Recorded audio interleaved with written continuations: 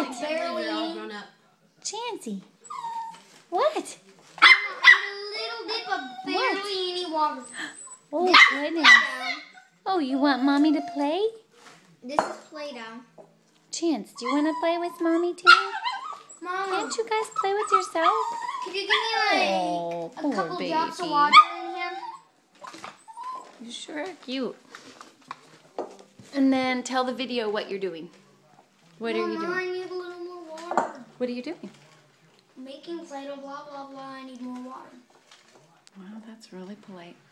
So we are making Play-Doh for uh, a nap at school.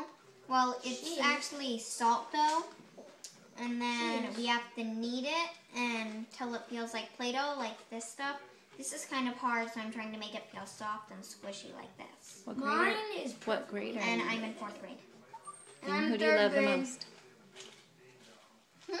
What was the question? Who do you love the